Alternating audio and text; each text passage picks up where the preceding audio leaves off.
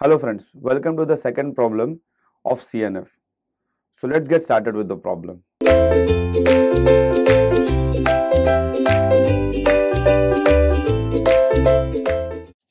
So the question which is given to us is, I have S gives me something like this, S again gives me something like this, S gives me a small p, something which we are familiar with, and S gives me a small q. Now, when a problem like this comes to us, first and foremost thing, we really need not worry about the things that are written in the problem. The things which are identifier to us, that is, the things which are in capital alphabets will always be variables. And till now, I used to say that everything in small alphabets will be terminals but now I will like to slightly reframe the definition because questions like this also do come in the exam.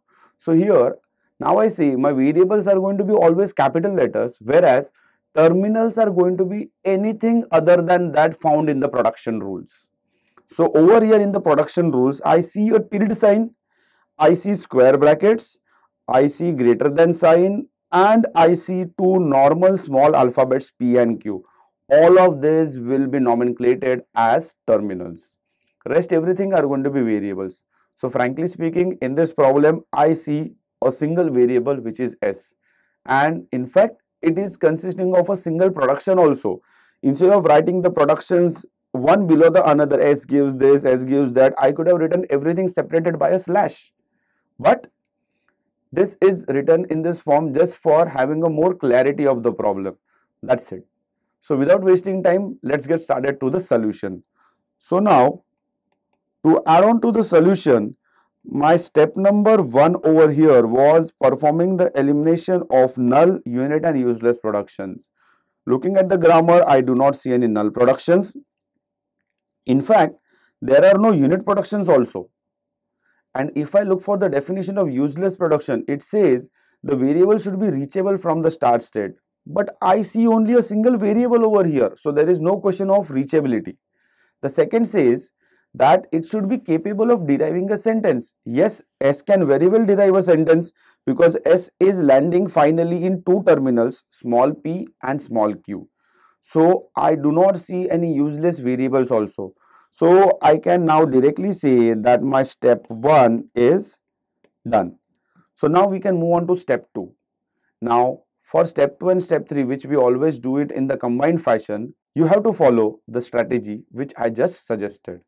So let's get started with that.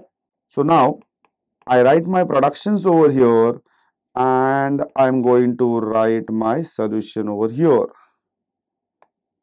So the first production is S gives small p. Before that, if you remember, my Chomsky form says the production should be of the form a gives BC or A gives me small a. This is just for reference. Now, S is giving me small p. It is in the Chomsky normal form. So, we add on to the solution.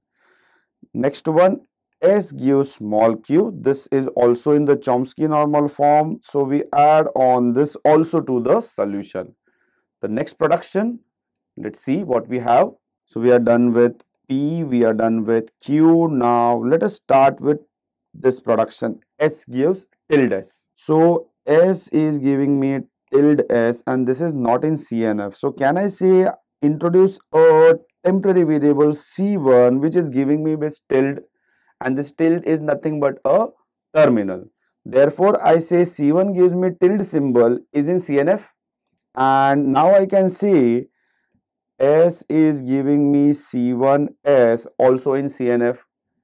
Now you can of course write it in the production and rewrite in the solution or directly write in the solution. In the previous problem, I did do it stepwise, but frankly speaking, this is a very trivial step. So you can ideally skip and directly write as the way I have written over here. So I have my S gives tilde S purely converted to the form which is required by the CNF. Going on to the next one. So let's consider the final production, this one. So let's write. My S is giving me square bracket S greater than S square bracket. Now you remember the rule, replace it by temporary variables. So let us say my C2 over here, I'm assuming that C2 is giving me this open bracket that makes this S to have C2 S greater than S square bracket. Again, I see that there is existence of two more terminals. So, now I say introduce one more temporary variable, let us say C3 and let's call C3 as a greater than derivation production. So that gives my S as C2 S C3 S square bracket. Again I observe that the grammar still has a terminal and that is nothing but a closing square bracket. So let's introduce one more temporary variable C4 which is deriving me this closing square bracket and therefore now I have my S as C2 S C3 S C4. Now I see the grammar consists of a variable giving me a lot of other variables. And the rule for getting converted to CNF was suggested as keep the first term as it is and replace everything by another temporary variable. So now I say, can I say S is giving me C2, C5 where C5 in turn is giving me S, C3, S, C4. Going ahead, I say keep the first variable as it is and replace everything by another temporary variable. Therefore, I write over here, continue over here.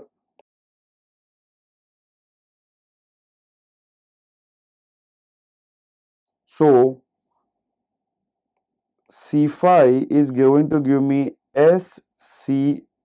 SC6 where C6 in turn is giving me C3 S C4.